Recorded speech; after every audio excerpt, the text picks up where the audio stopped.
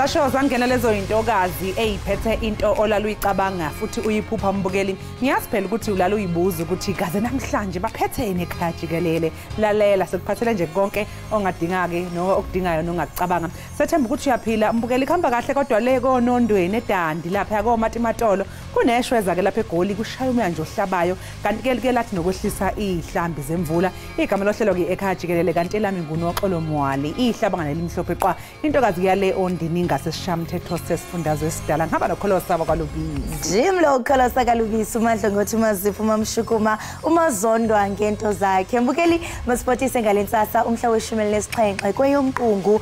Njengoko ke siqala usuku olutsha siza kuliqhuba ke ngala mandla sinawo de kuyophela inkqubo. Seemva ke koko sibe singena kwinkqubo yethu yokugqibela okanti ke nangamanqaku esingathi siwalindele kule yure yokuqala amadoda amathathu ekukholeleka ukuba ngonogada athe abekanti ayatutyulwa abulawa ngethuba kudutyulwana kwinto ekusolwa ukuba ngumlo wemibutho yonoteksi kwirenki yeteksi esajonisi izolo. Ndiyaqiniseka mamtshali bengakudala sikhala kananjalo ngesiganeko sodutyulo kulaa ndawo.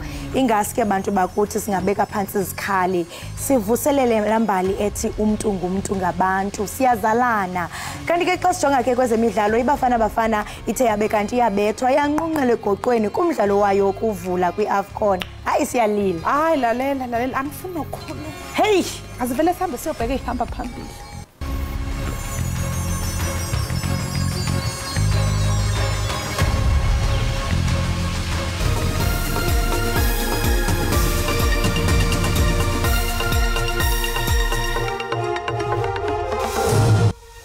When we were in the office, there when we came out, we heard a noise, a bang that was coming from outside. And when we checked, there was a firing of the shots. kudutyulwe kwabulawa amadoda amathathu ekukholeleka ukuba ngoonogada logama ke abantu abahlanu bonzakele kungquzulwano yemibutho yooteksi ziyavulwa iy'kole ey'ngxenyeni ezahlukene zezwe kanti ke egauteng kunabazali abangeneme ngey'kole iy'ngane zabo ey'fakwe kuzo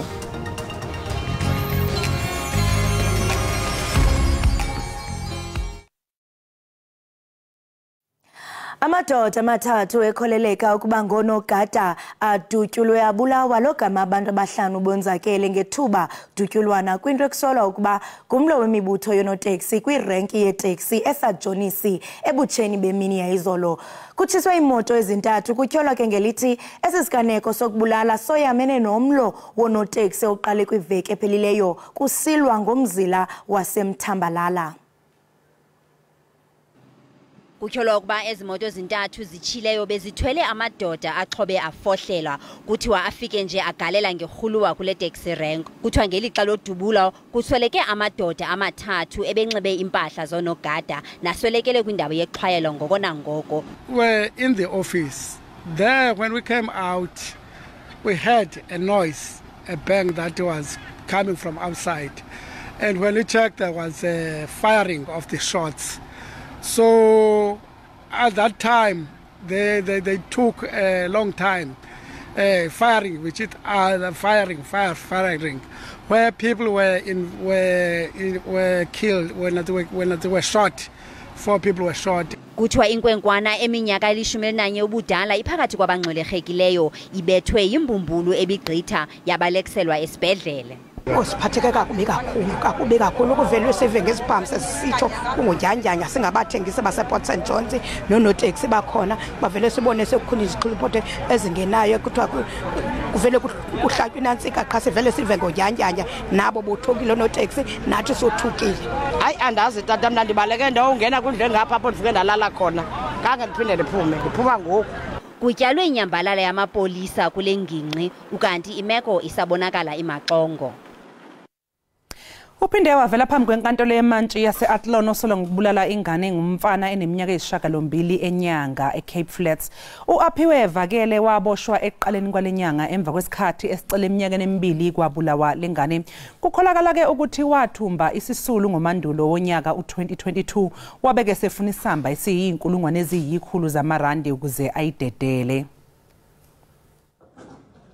Sekugqithe nonyaka emva kokubulawa kwenkwenkwane yasenyanga nekude kwarhintyela umrhanelo ekuqaleni kule nyanga uaphiwe vakelo minyaka iyi-31 uvele kwinkundla kamantye aclone utyholwa ngokuxhwila le ntwana iminyaka esibhozo ulukholo lwamkhontwana usapho luthi lwafumana umyalelo efowunini ogunyazisa ukuba benza intlawulo yeerandi ezilikhulu lewaka kwaye bekwagrogriswa ngokuba uza kubulawa umntwana ukuba benzi njalo umakhulu kalukholo lwam uchaza indlela aba bantu ababangcungcuthekisa ngayo ngokwasengqondweni.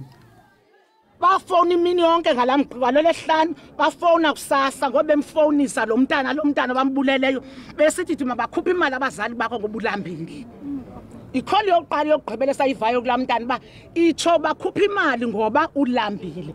Uyawuthi uzutye kuphume le mali kokwenu umntwana uqhilwe emva kwesikolo ngolwesihlanu kaseptemba 2022 abazali bathi baba manxada-nxada behlanganisa amawaka amahlanu erandi bebhatala bethembisa ukuzamenye kodwa yaye yacinywa ifowuni emva kwentlawulo.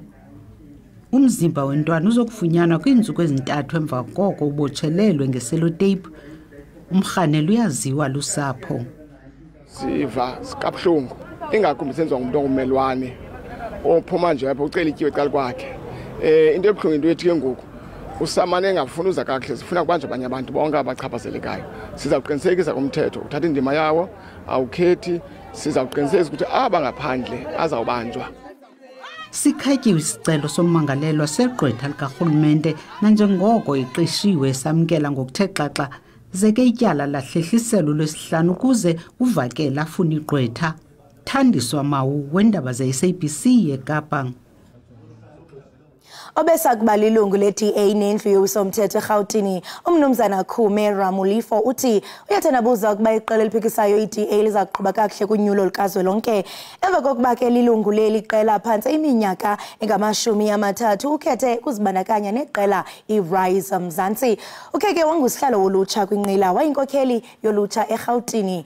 Uramulifo ke ushiya iqela lakhe sele lusemnyango unyulo lukazwelonke emva kokucakela idemocratic alliance iminyaka engamashumi amabini nesihlanu umnumzana khume ramulifu lilungu lamva nje kuflathela eliqela nyakenye wabhulelwa amasaka ngusolim simanga kwilinge lokuba yinkokheli yeliqela kwiphondo irhawuteng uramulifu kholelwa ukuba ayizoqhuba kakuhle kunyulo lukazwelonke i-da kunyulo lika-2019 i-da yafumana umyinge ka-20.77 wevoti seeing that the party is going to regress, uh, especially looking at the strategy they have adopted. And that's why I feel like I can't be part of that. I wanted to be part of the party which is going to build new majority. Uh, and when I realized that, uh, you know, even when you come with ideas and if people are not prepared to listen to those ideas, mnumzana ramulifu ubhengeze ukuba irise mzantsi esekwe nyakenye iza kuba likhaya lakhe elitsha lezopolitiko I will go to Rice Mzanzi, uh, which is a new party. Uh, it's not represented in parliament, in legislature, and it's not what I want now. I just want to go on the ground and serve our people. imamkele ngezishushu irise mzantsi Kume's commitment to working with Rise Mzansi and to build the South Africa we all deserve follows our 2023 November announcement that David Kabwa and Move SA have joined forces with us too. Kume is an experienced campaigner who, through his 25 years in politics, has been involved in 10 election campaigns. kusenjalo irise mzantsi kulindeleke iphehlelele wayo wezithembiso phambi konyulo likazwelonke lwalo nyaka kulindeleke abaxhasi abakumawaka amane abaza kuzimasa lo msitho siguqele isikhathi esingaziwa isigcawu sekomidi lephalamende eliqondisa igwegwe esilalele udaba lwamalungu ephalamende EFF ayishumi emva kosuku lwesibili siqale umsebenzi waso. Lokhu kuze emva kokuthi omunye wofakazi kulesi sigcawu eyivumele ngokwakho ukuthi kungenzeka ukuthi wenza iphutha ngesikhathi ehlonza elinye ilungu le-EFF ephalamende elivele phambi kwalesi sigcawu kanti ke lamalungu e-EFF abhekene neyinsolo zokuphazamisa umengameli uCyril Ramaphosa ngesikhathi ethula inkulumo yokwabela iminyango kahulumeni isabelo mali ngonyaka u2022 Le nkqubo yoluleko ingene kwimini yesibini ngolwesibini amalungu e-EFF athi akanatyala kodwa igqwetha labo lithi khange kuqinisekiswe ngobungqina. You can equally appreciate why we've got a problem with this multi-layered process that includes subcommittees, that includes this committee, viewing the same video, undertaking the same exercise of verifying, yet all of them, including the members of this committee, miss such an important issue. When I said it was Mr. Mkonto, it's because I believed it was Mr. Mkonto. I accept that I may be incorrect. And to the extent that I may be incorrect, because what, what it would mean, I must verify the picture of the member. igqwetha elikhokela lekomiti beliphikisana nemibuzo kodwa amagqwetha e-EFF athi ipalamente ikhetha iphela emasini Is it fair of the speaker to admonish and ask members to withdraw for calling the president a criminal and a money launderer, yet at the same time not reprimand and admonish and seek punishment of members that called Shibambu MP a murderer and part of a syndicate in the VPS heist? Would you call that fair from the speaker's perspective? Chairperson, I, I call the manner in which the speaker ran the proceedings on the day fair. And she dealt with the matters before her to the best of her ability. And, and that would be my version. i-EFF ithi iza kubhenela kwinkundla yamatyala ephakamileyo yaseNtshona Kapa ngolwesine icela umngeni isithi le nkqubo yoluleko ayikho mthethweni kwiindaba ze-SABC ndingubulelani Philip epalamente lisikhusele isigqibo salo isebe lezemfundo esisiseko songazikhuphi kwiveki yokuqala kaJanuwari. Iziphumo zematriki lithi oku kunika ithuba iqumrhu eliqinisekisayo umgangatho umalusi ukuba liqinisekise iziphumo zokugqibela zomgangatho zikumgangatho okufunekayo kwaye ke zithembekile kusini na Iziphumo zebanga leshumi lonyaka ka2023 ziza kubhengezwa ngumphathiso wemfundo esiseko uAngie Motshega ngolwesine. Oku kwenzeka naxa iphepha lokugqibela lemviwo labhalwa ngomhla wesithandathu kuDisemba wonyaka ophelileyo. Isebe lithi lithatha ixesha ukuzikhupha kuba lifuna ukuqinisekisa iziphumo ezizizo. Over the years, the work that the department does before the results are released has increased. There's more analysis that takes place, but also the verification that is taking place to make sure that no candidate is negatively compromised. Nakuba kunjalo, umhla eziza kukhutshwa ngawo kuyabaxhalabisa abanye abazali namaqela aphikisayo. Parents have every single right to complain about the late release of matric results.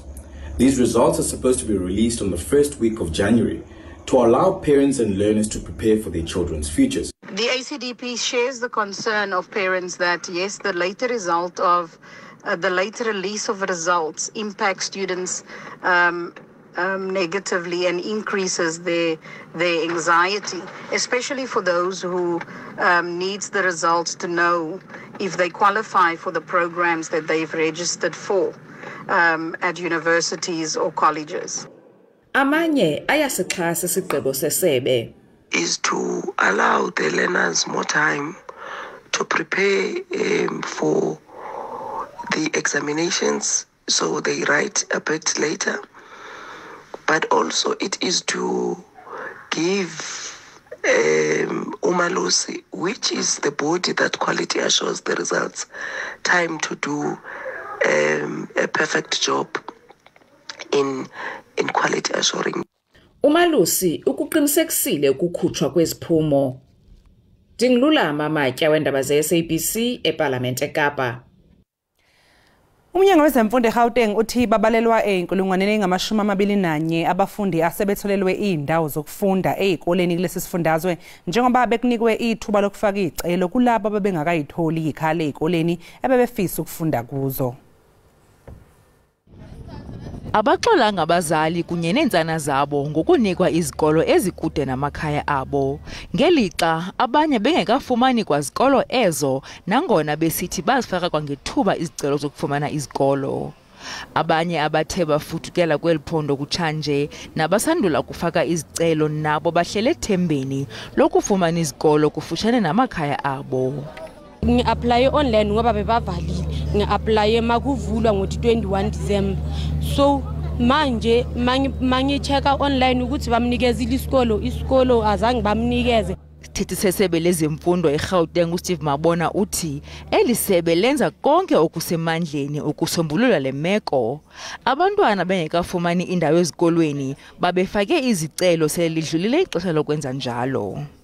We have a system and we know that this is happening across the province there's many districts that had quite a lot of people yesterday so the system is the same those that are coming for uh, dissatisfaction you try and accommodate them. Those that are coming now, just arrived, they can use the system. You assist them to apply.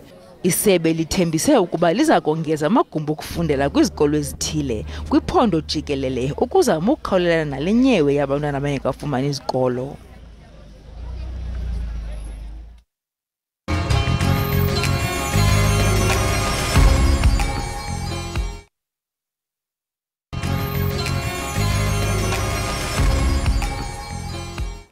sibambe ngazibini imbukeli ngokuba usahleli nathi apha ekhaya. Jikelele umphathiswa wemfundo ephakamileyo ugqirha blade nzimande bengeze ukuba lo nyaka ke wokufunda uza kuqalisa isigaba sokuqala sika-nsfas sokuxhasa abafundi ababevaleke ngaphandle ekufumaneni inkxasomali ka-nsfas aba bafundi ke baphuma kwiintsapho ezinabazali abarhola imali phakathi kwe-350 000 rands ukuya ku-600 000 rands yerant ngonyaka.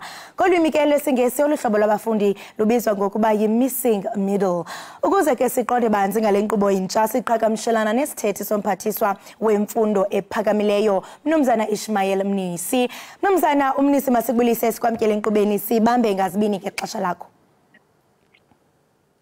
Eh mangubulise ngiyathokoza ukuba eh eh khona nami namhlanje kuseni thokoza thina inkosi kakhulu. Um umphathiswa ugqirha blade nzimande uthe ke xa esenza isibhengezo um wabulula ukuba um bangu-11 percent abafundi abakuluhlu lwe-missing middle njengokuba ke kulindeleke ukuba amaziko emfundo ephakamileyo amtyele abafundi abatsha. Um siyafuna ukuqonda mnumzana into yobana ngokweenkcukacha manani zenu ingaba mhlawumbi lithini inani labafundi abazawuthi baxhamle kule nkqubo? Eh abafundi abazoxhamla kule scheme ese-missing middle i-student loan. Mhlawumbe sike sihlukanise kakhulu eh eh nexhasomali lebhazari lesinayo ukuthi yona emva kokuba abantwana baqede ukufunda bayo bayofanele ukuthi babhadale i-loan eh back ebuye kwa-NSFAS sizoxhasa kulonyaka zimali eh abafundi abawu-31000 884 eh okuyoba ukuthi it's half of abafundi um eh aba ku missing middle eh category okuyibona aba almost eh 68446 Mm. Ndiyakuva apha mnumzana umnisi into yobana uthetha ngokubana abafundi abazawuthi baxhaswe um bangaphaya kwe-31 000 ndiyazibuza into yobana mhlawumbi aba bazawuthi bangaxhaswa bona bashiyelwe ntoni ngasemva? Eh uhulumene usinikeze about eh 3.8 billion ukuthi sisungule lesikhwama ese student loan. Eh sathi siyisebe no NSFAS sabona ukuthi kubalekile ukuthi siqale kuwona lonyaka wezimali u2024 singalindi eh ukuthi sikwazi ukuthola ama investors abazokwazi ukubeka nabo imali yabo imali oxhaso yabo kule scheme. So sibone ukuthi kungcono ukuthi eh sisungule kunokuthi silinde ukuthi isikhwama lesizimali sikwazi ukuthola imali nxaso evela kwezinye indawo mnumzana umnisi um kuyaphawuleka into yokubana khona abafundi abazawuthi mhlawumbi abayi-70 percent abaza kuxhaswa iza kuba ngabo bafunda iscience neteknoloji ndiyafuna uqonda ubana nifikelele njani kwesi sigqibo? Kwaye ke oku akuzuchaphazela abafundi mhlawumbi abanezinye ii-interest abafuna ukufunda ezinye izifundo? Ugovernment uthe uma ebheka ukuthi eh inani elabafundi elibalulekile kakhulu ikakhulukazi ekukhuliseni kwe-economy ye-South Africa. Sabona ukuthi abafundi abaku science technology engineering ne mathematics yibona ababaluleke kakhulu.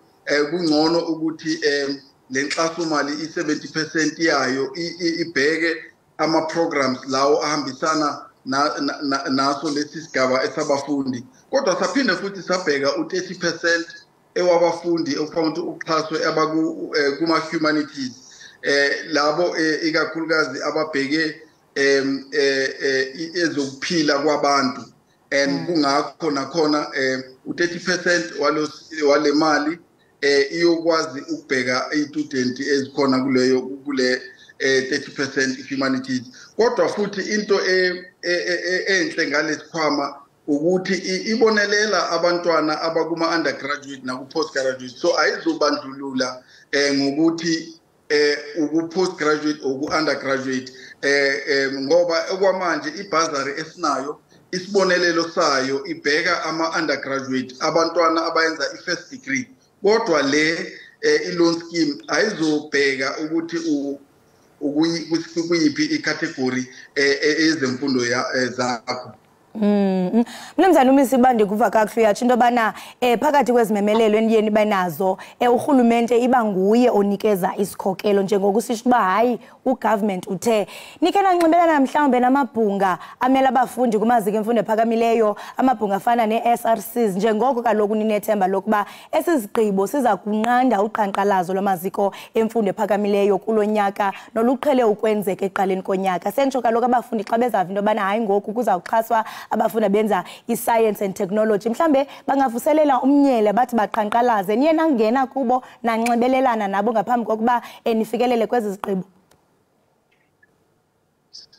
Siyabonisana ngezigqibo eh, ngesigqibo esithathayo siyisebe eh siyakhuluma eh, ne-South African University eh, Organization okuyona e- ebhekelele eh, ingane kuma TVET colleges uma sithatha inqumo ezi- ezizo affecta ama students nakule loan scheme eh ungqongqoshe uhlangane nabo eh eh, eh, uma before ezoyenza umbiko ukuthi eh sikhona lesikhwama and nabo bakwazi ukufaka imivo yabo eh ukuthi eh eh, si- singabi eh eh, ukuthi sihamba sisodwa uma sesithatha igcibo ezi affect ama students so ngasho eh ngo- ngokunyathelela ukuthi ngempela sibonisene eh, ne- ne- na- nama unions abhekelele eh, ama student. Saphinde futhi sa- sabonisana nama ne management yama yamanyuvesi nama TVET college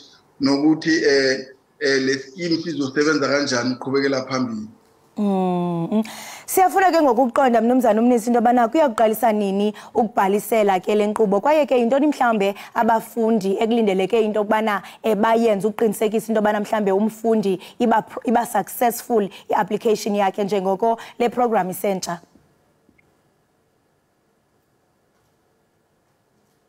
Mnumzana umnisi financial aid scheme eh, u-NSFAS usazobheka eh, eh, usazosinikeza i-date eh, eyokuthi le scheme siyoqala ukusebenza nini. Zokhumbula ukuthi ungqongqosho ubike nge-31st eh, eh, eh, I mean, ubike last week Saturday Sunday ukuthi le scheme sizoqala wona lo nyaka. u-NSFAS usasebhizi usumbululana eh nokuthi siyohambiswa kanjani eh nokuthi kuyosetshenziswana neziphi inhlaka e- ezomphakathi even namanyuvesi ukuthi eh, le- lesi skema sikwazi ukuqala kuwona lo nyaka lo eh, es- esikuwo. Eh usazomemezela ke uNSFAS eh ukuthi eh uku- ukufaka icelo eh, ingane kufanele ukuthi zifake kanjani eh nokuthi baye kuphi. Mnumzana umninzi xa uthi mhlawumbe i-data ikakaphumi senditsho ngoku sele kaloku kujongwe ngamehlo abomvu into yobana eh, abafundi bangene ezikolweni. Ayibonisi mhlawumbe loo nto ungazimiseli kwenu njengo-nsfas kuba kaloku baninzi abafundi mhlawumbe abazimisele uba bayaqhankqalaza. Considering that kusekhona amatyala mhlawumbe onyaka ka-2023 if i-data kayaphumi sentsho abafundi bathini ngeli xesha ngalendlela ngibonisa ngakho ukuthi ungqongqoshe ume- umemezele eh iviki elidlulile ukuthi eh le skema sizophathwa uNSFAS eh ngikhuluma nawe uNSFAS uyahlangana ukuthi uphothule eh ama arrangements eh, ukuthi eh, kuyoqala ukufaka icelo kuphi nini. Eh because eh akufanele ukuthi uNSFAS ube ngaphansi kwengcindezi yokuthi kufakwe icelo ungasangalungisi eh, uhlelo lwalo elokuthi eh, uma icelo zifakwa eh ziswa kuphi nokuthi ukuphendulwa kwazo ku- kuyoqala nini. Sizokhumbula ukuthi ngesikhathi esikhuluma ngaso manje uNSFAS usavule icelo ezama-bazari azo- azovalwa nge-31st zakajanuwari. So ukuthi kungabi eh, nesiphithiphithi no- nokungazwisisi no- or futhi nokudideka. Kungakho NSFAS ubona ukuthi kungcono uphothule lokho ekwenzayo. Ikwazi nokuthi uma izobheka iskema esa-loan system iziziphi izinto okufanele ukuthi eh, zenziwe and nokuthi zenziwe kangakanani. Nokuthi isikhathi esokufaka icelo sibe eh, eh, eh, bude buduze kangakanani. So konke lokho eh iboard ye-NSFAS isabhizi isakhulumisana eh, ngakho ukuze ikwazi ukufikelela kuma-decisions azokwazi ukunceda eh, iy'ngane nabazali. Mnumzana uMinsi siyaqonda into yobana le announcement izanda njengoko eh, ugqirha Blade Nzimande. Kukho izinto zoba mhlambe funeka resign ngenxa yobuqhophololo eh, nezi- nemicelimngeni esingatsho into eliziko lijongene nayo. Ungatsho nje confidently into yokubana ningu-NSFAS nikulungele elo lo nyaka. Kwaye siyafuna uqonda into yobana mhlambe abafundi nabazali eh, bangafumana phi iinkcukacha ezipheleleyo ukuze ke bangaphosi maseko ukufaka izicelo nokuba mhlambe ke zingalibaziseki iinkqubo zokufunda nokufundisa kulo nyaka uNSFAS ufake usuhambe eh, ibanga elide ukuthi il- il- ilungisele unyaka ka2024 eh em, ngale ndlela be- sengibonisa ukuthi eh ama applications eh for uNSFAS bursary eh asaqalile ebile azophothulwa nge-31st zakaJanuary and and ngi- ngi- ngingabe ngingasho nokuthi eh, okwamanje uNFAS uthole more than 1.4 applications eh ekubonisa ukuthi eh ku- kukhona isidingo esokuthi i-loans i- i- i-bursary scheme ka-NSFAS kulonyaka ihambe kahle. And zonke lezo celo i-NSFAS ibhizi iyaziphothula ukuthi ikwazi nokuphendula abafundi ku- kuko lokho. Okwesibili uma sibheka unyaka ka2023 kukhona isibiko esaba khona ukuthi eh kukhona more than eh, 20000 eyama student abengasanga khokhelwa ama allowances wawo.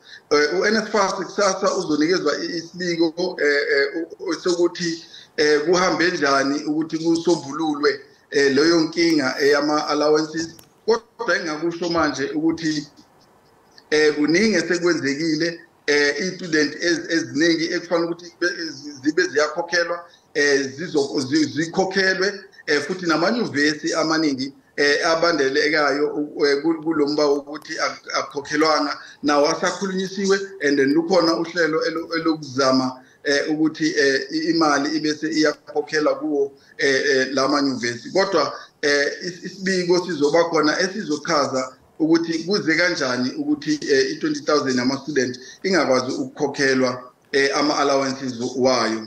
Eh uma ngabonisa futhi eh, okunye esokwenzekile ukuthi ku- kube khona imihlangano eh nama eh, vice principals wamanyuvesi kube khona imihlangano nama eh, college principals eh ukuthi kuxazululwe eh, nokuthi kuboniswane eh ngokuqala okonyaka ka2024 and and nokuthi kuyosetshenziswana kanjani uk- ukuxazulula inkinga ezama student lapho zinga zingahle zibe khona. And lokho kuyathokozisa kakhulu ngoba kuyabonisana ukuthi i-post school education and training sector iyasebenzisana ukuthi ibonisane eh, ngazo zonke inkinga ezingahle zibe khona ezingathikameza ukuqala konyaka ka-2024 Mm, Nomsana Umisi masibambe ngazibini ke xesha lakho sithemba into yobana ezinkqubo nizimiseleyo zawuhamba ngempumelelo singaboni uqhankqalazo luqhubeka ezikolweni enkosi kakhulu.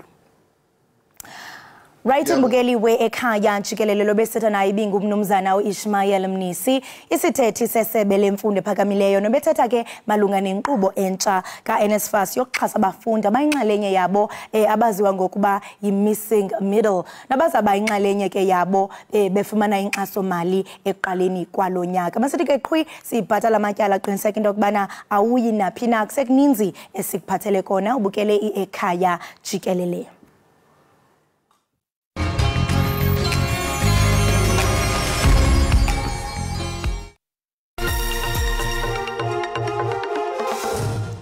umdlali osafufusa ebholeni likanobhutshuzwayo emission vale egqaberha uzolibhebhezelisa phezulu iflag lakuleli zwe emqhudelwaneni i-easter international cup e-united kingdom nonyaka.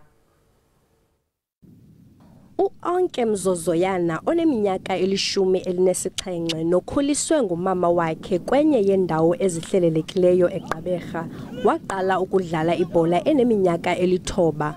Iphupha lakhe kukuba ngumdlali webhola ekhatywayo ogqwesileyo akaqali ukufumana ithuba elinjengeli. Kunyaka ophelileyo uphoswe lithuba lokuya esweden ngenxa yengxaki yevisa. Kulo nyaka uzimisele ukuya e-uk kwaye unethemba lokutsala umdla kubachongi babadlali. Ndiqale udlala ibhola kamabala wanamatye adasti so every time maybe uyadlala woyika nokumzekelo because of uyayazi uzoba nebruze okanye something apha emzimbeni. So it means a lot intswelangqesho ulwaphulo-mthetho kwakunye nokusetyenziswa kweziyobisi zezinye zeengxaki zemo yentlalo abajongene nazo abahlali basemissionvale egqaberha. Ukuzibandakanya kolutsha kulo mmandla kuyabanceda ekuzikhwebuleni kwizinto ezingendawo You have the social aspects in our areas, you know, crime, alcohol abuse, drug abuse, and we encourage our boys to stay away from those things. omnye wemibutho yasekuhlaleni sebeqalile nenkqubo yokunyusa ingxowamali kamzozoyana samenzela iposter ne-raffles ezizamncedisa uba abantu bakwazi ukufaka inkxaso um loo mali umntu akwazi ufikelela kuyo um anikezele. Um also we have created ufacebook page so apho ekwazi um through amakhasi ethu onxibelelana. Kuvulwe ikhasi lonxibelelwano ufacebook ukulungiselela abo bafuna ukufaka isandla. Sinethemba witi kwiindaba ze-sabc egqaberha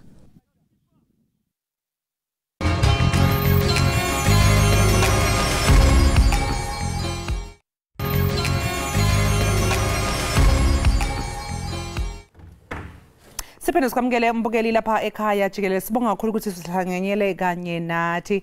Kuneyingxenye eyithileke zesifundazwe kwazulu natal kulindeleke ukuthi zikhahlanyezwe yimvula enamandla le mvula ihlasela nje akukapho limaseko kube neyingxenye eyikhahlanyezwe eziyikhukhula kulezi ndawo ke mbukeli kukhona umasipala i-alfred duma kanye nomsinga. Sibone kumqoka-ke ukuthi-ke sikulandele isangoma sezulu umduduzwa kwamthembu ukuthi nje-ke asicacisele kabanzi mayelana nalesi simo. Umduduza sikwamukele ohlelweni sibonga kakhulu ngokuthi sibe nawe lapha ekhaya jikelele ngiyabonga ngiphinde ngilungile lapha bukeli umduduzi njengoba nje-ke ngiqagula ukuthi kuneyimvula eyinamandla eyilindelekile lapha kwazulu natali ngabe yiziphi iy'ndawo esingayibona ikhahlanyezwa imvula enamandla? Indawo ezingasogwini nezakhele nogqu yizona namhlanje ezilindele imvula engathi izoba namandla ikakhulukazi enkabeni yesifundazwe ukhuphukile ngasogwini lusenyakatho sinaso-ke isixwayiso esingaba isigaba esesihlanu sigaba five esisho ukuthi vele isimo lesifundazwe ikakhulukazi ngasogwini um ukukhuphukela enyakatho nesifundazwe iwazulu natal namhlanje. Ingakanani-ke mvelase lemvula futhi ingenza nje-ke umonakalo ongakanani? Eyi ngoba uyabona uma usuthi nje stage five level five eyi kuyethusa ya umonakalo ngoba mkhulu kakhulu ikakhulukazi endaweni ezakhelene nemifula nogu ikakhulukazi ethekwini ukhuphuka njalo bothombathu ukhuphuka njalo uyofika endaweni ezisestenga emandiyeni uyofika e-richards bay emthunzini lezo indawo lezo zingalindela isimo esingaba sibi kakhulu. Indaba yalo isizathu salokho ukuthi belinile emalangeni adlule. So umhlabathi usasemanzi. Okusho ukuthi nje imvula noma ingaba incane ingawenza umonakalo ngoba eh imifula izoshesha ukugcwala Mm. Manje ke lemvula mduduzi singalindela ukuthi idonse isikhathi esingakanani? Eh singasho nje ukuthi namhlanje ilona ilanga lokugcina ngalesimo ebesikusona.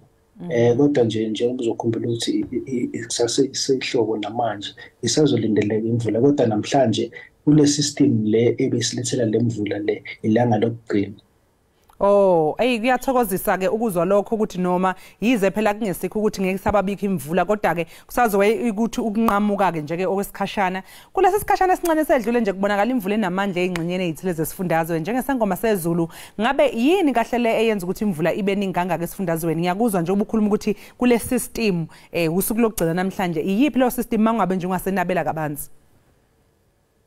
Okay, kusho ukuthi eh ngalesi sikhathi sonyaka umoya onomswakama uyaye usuke endaweni ezimaphakathi ne-Southern Africa uze eningizimu.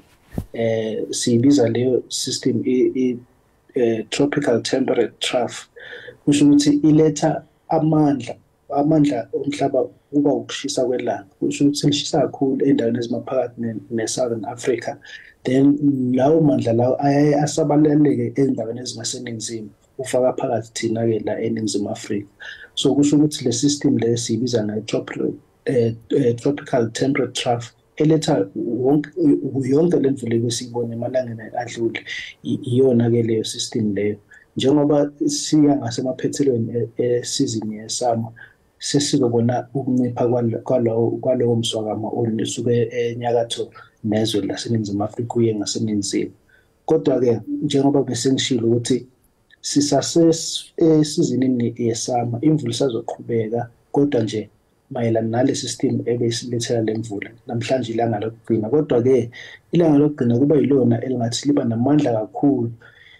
Yingakho ke sinalesi sixwayiso esiku level 5 esanamhlanje. Ikakhulukazi ngeenkathi zasebusuku namhlanje ebusuku lizobe lidliva masogwini esifundazweni kwaZulu Natal ukhumbukele enyakatho endaweni ezile phezulu kozulu lento emkhanya kude. Lezo ndawo lezo ngenkathi sesebusuku kuzobe kunzima kakhulu. Sikhona ke yini sexwayiso nje eningasikhipha mthembu njengezangoma zezulu ebantwini abakulezo indawo izohlaselwa imvula? Angicela uphinde lo mbuzo angizwanga Oh bengibuza nje ukuthi njengezangoma zezulu mhlawumbe sikhona yini sexwayiso ke ningasikhipha nje ke eh uxwayisa abantu njengoba nje isimo sinje?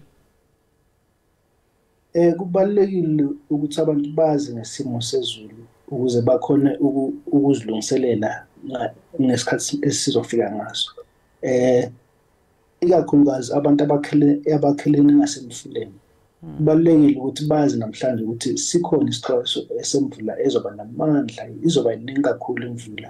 Imifula izogcwala eh kusho ukuthi ke abantu kumele bazilungisele ukuthi baziphephisa kanjani ikakhulukazi kazi ngeenkathi zasebusuku lapho khona kuzobe kumnyama kuba nzima eh nokwazi ukuthi ungabalekela kuphi. Kodwa nje kubalekile ukuthi abantu babe sendaweni eziphakeme ezingajwayele ukuba nekhukhula phinde abantu kumele bayigweme indawo eziyamabloho banga banga banga cross amabloho ngoba eh noma ngabe amanzi angaphansi kwedolo kodwa nje amanzi anawo amandla ukuthi angahambisa abantu kulezo ndawo. So if lini izulu and uyawubona umfula ugcwele namabloho amanzi asangaphezulu kwebloho kumele ukuthi abantu bangalokothi bangazami nje ukuzifaka enkingeni ikakhulukazi njengoba ngishilo ukuthi kuzobe kusebusuku abantu bosizo lokuqala kuba nzima ukuthi bafike ey'ndaweni ezingasemakhaya ikakhulukazi ngey'nkathi zasebusuku.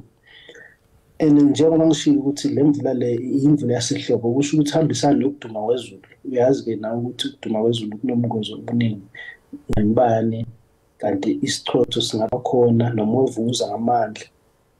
So abantu kumele bazame ukuziphephisa kulezo zinto eh ukuduma kwezulu akumelanga abantu babe ngaphansi kwehlahla akumelanga abantu babe ngaphandle kumele babe ngaphakathi ezindlini kanti nezindlu zabo kumele kube izona izindlu eziphephile. Mm Mduduzi ngokuqagula kwenu nje ke ingaphinde ibuye nini lemvula enamandla? Eh ukuba namandla kwemvula eh ngisho nje ukuthi kusukela manje eh sekazowehla sekazomuncipha amandla emvula ehle kancane kancane njengoba sesisiphetha le season yehlobo. Kodwa nje njengoba ngishilo ukuthi sisasehlobo isazoba khona lapha nalapha kodwa nje ubuningi bayo ngingasho ukuthi abusekho njengoba esibona ensukwini ezidlule Mm. Eyindaweni ke zako-Gauteng njengoba sazi ukuthi nje ke eh, liyayidliva nakhona ke ize noma mhlawumbe khona ke amandla engekho makhulu njengakwaZulu Natal. Nawo mhlawumbe isizathu sokuthi line ngaphandle kokuthi kusesehlobo naso mhlawumbe eh, ngabe yiso lesizathu kade usisho sale system okade uyisho ukuthi iyanqamuka namhlanje. Eh yonke lemvulo esiyibonayo empumalanga nezwe. Impumalanga nezwe laseningizimu Afrika ifaka phakathi isifundazwe Gauteng kwaZulu Natal impumalanga iLimpopo neNorthwest neFree State. Kusho ukuthi eh isystem eyodwa le eletha lo moya onomswakama onamandla ngaseyifundazweni ezingasempumalanga yize ubuningi balemvula usesifundazweni kwaZulu Natal kodwa isimo esifanayo namhlanje nje la eGauteng eGauteng eh Limpopo empumalanga nasempumalanga nesifundazwe i-Free State sikhona isixwayiso semvula engaba namandla nalezi zifundazwe kodwa kuzobe kuyisigaba 2 ukuba yisigaba 2 akusho ukuthi angeke libe nezikhukhula kusho ukuthi amathuba akhona azobe amancane kunesigaba 5 isigaba 5 esisesifundazweni kwaZulu Natal Mm. Hayi sibonga kakhulu kemvela sengesikhathi sakho namhlanje kuseni. Bonga mina. Lewo ke mbukelibe kungumduduzi Mthembu oyisangoma sezulu obezogeqa amagula ke ngemvula enamandla elindeke lapha yaKwaZulu Natal. Mbukeli uphawulileke ukuthi abantu kubalekile ukuthi baphephe ikakhulukazi labo bantu abahlala eindaweni eziseduze kwemfula eindaweni eziphansi uyasho ukuthi isikhathi lapha ezobe liyidliva ngempela kakhulu khona kusebusuku. Exwayisa ke nje labantu ukuthi mhlawumbe kungasiza ukuthi bayithole bese eindaweni eziphephile ukuthi nje uma ngabe uyazi mbukeli ukuthi uhlala kulezo indawo eziseduze kwemfula eindaweni eziphansi lapho okujwayele khona ukuthi kube nezikhukhula noma kunamanzi amaningi khona engathi ungabe uqala wenza uhlelo lokuthi mhlawumbe namhlanje ebusuku ungaba kuphi endaweni ephephile ukuze qinisekise ukuthi ngaso sonke ke isikhathi nihlala niphephile. Uyasho futhi ukuthi lezi imvula zihambisana nokuduma kwezulu exwayisa ke ababukeli ukuthi bangabi ngaphandle mangabe ke izulu liduma naseyindlini ngaphakathi bazame nje ukuphepha ngaso sonke isikhathi. Uma nje uzazi mbukeli ukuthi uhlala eindaweni ezinamanzi nasemfuleni kuyasiza kakhulu ukuthi kancane kancane udame ubheka ukuthi isimo sezulu sime kanjani. Mhlawumbe ubheka ukuthi kusasa kuzobe kanjani eh kuleli viki kuzobe kanjani ukuze uzokwazi ukuthi ke uyihlela kanjani ngendlela ezoqinisekisa ukuthi wena kanye nomndeni wakho nihleze niphephe ngaso sonke isikhathi. Thina ke nje siyi ekhajikele kanye neSABC sinifisela sengathi ningahlala niphephile ke ikakhulukazi abantu abakhona lapha esifundazweni ke iKwaZulu Natal okwanje ke mbukeli ake sinjike qunga seyitolo sizobuya ke sesingena ehoreni lethu lesibili.